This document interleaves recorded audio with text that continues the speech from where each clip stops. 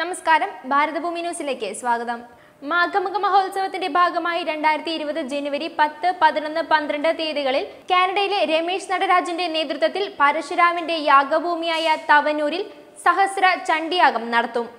Canada America Malaysia Singapore എന്നിവിടങ്ങളിൽ നിന്നും ഇന്ത്യയിലെ വിവിധ സംസ്ഥാനങ്ങളിൽ നിന്നുമായി എത്തുന്ന നൂറ് പേരടങ്ങുന്ന സംഘമാണ് യാഗം നടത്തുക.